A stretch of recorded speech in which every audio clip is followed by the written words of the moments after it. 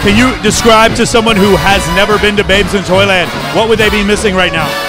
Well, there are so many beautiful women here, just everywhere. It is a wonderful charity. It is uh, the Midnight Mission.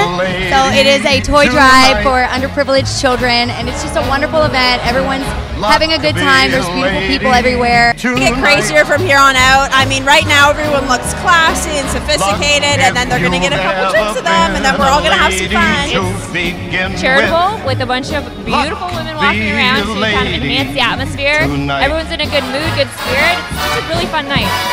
Well, I feel like honestly, like I feel like this is the best year yet. I just got here. There's so many different step and repeats we have. It seems like probably uh, more sponsors even than what we can almost hold. Well, it's pretty incredible if you ask me. A lot of amazing people here. It's going to be a great night, a great charity. So everyone better give, give, give.